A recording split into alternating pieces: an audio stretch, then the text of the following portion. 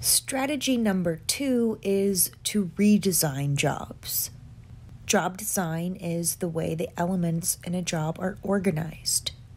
The way a job is designed can impact motivation, satisfaction, performance, commitment, a number of important outcomes. Hackman and Oldham created the Job Characteristics Model, the JCM, to explain job design. This model says that we can enhance intrinsic motivation by adjusting one or more features of the job.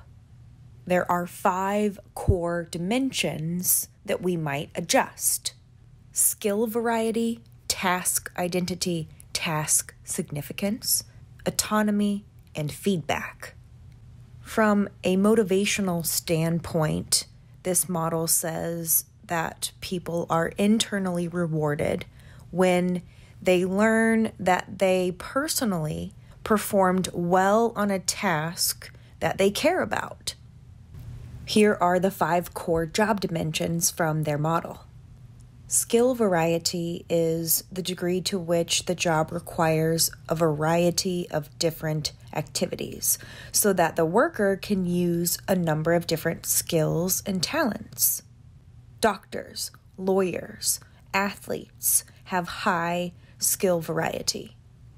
Task identity is the degree to which the job requires completion of a whole and identifiable piece of work.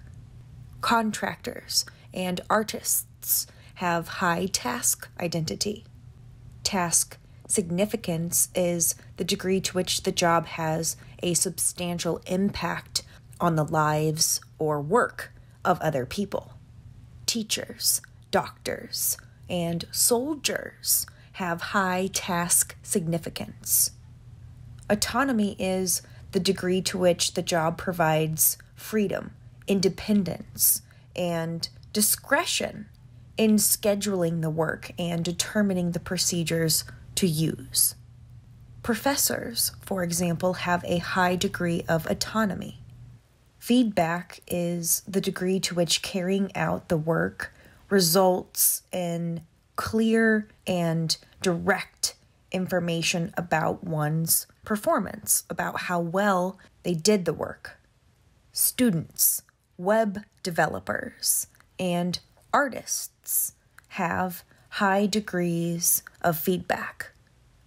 A job's core dimensions can be combined into a single index called the motivating potential score. This score is the degree to which a job motivates a person. The higher the score, the more motivating a job is for that person. Jobs that motivate are assumed to produce positive outcomes for both the person and the organization. To score high on motivating potential, a job must be high on at least one of the three factors that lead to experienced meaningfulness, and high on both autonomy and feedback. For jobs that score high on motivating potential, the model predicts that motivation, performance, and satisfaction will increase, and that absenteeism and turnover will decrease. One of the reasons why the job characteristics model is so popular is because there is a lot of research support for the five job characteristics and for the personal and work outcomes. In other words, this model actually works. People often seek out jobs that are challenging and stimulating to them. Repetitive jobs, unfortunately, provide very little variety autonomy, or motivation.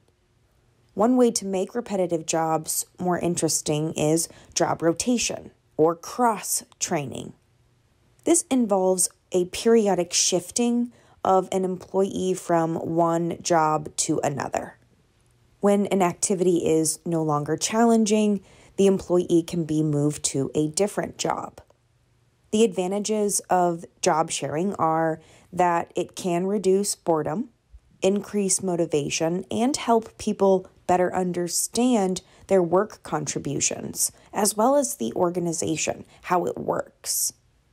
Indirect benefits include employees with wider ranges of skills because they've worked in more than one job, and they're able to adapt to changes better and fill vacancies in other parts of the organization. The disadvantages of job rotation are that it can be disruptive to both the person doing the rotation and also their colleagues. It can also create a need for training and increase the amount of time that supervisors have to spend answering questions and mentoring employees. It can also create efficiency problems because we're wasting time, energy, and other resources. Job enrichment is another way to redesign jobs. This is when we add high level responsibilities to a job to increase the employee's sense of purpose, direction, and meaning. This technique is based on Herzberg's two factor theory. To motivate, focus on the motivating factors. By enhancing the meaning of work, we can increase intrinsic motivation which means that the extrinsic rewards are not as important to the motivation process. This could be useful then in an organization that can't afford more rewards, like pay increases and bonuses. We want people to do the work because they want to do it, not because they have to. There is some evidence that job enrichment can reduce turnover. The disadvantage with this approach is that it doesn't have much of an effect on people's attitudes toward the organization. And we know that attitudes play a role in organizational behavior and motivation. The job characteristics model is focused on making jobs more intrinsically motivating. Relational job design focuses on making jobs more pro socially motivating. One way to do this is to better connect employees with the beneficiaries of their work customers, clients, patients, and users of the products and services created by the organization. Meeting beneficiaries firsthand allows people to see that their actions have a real impact on real people.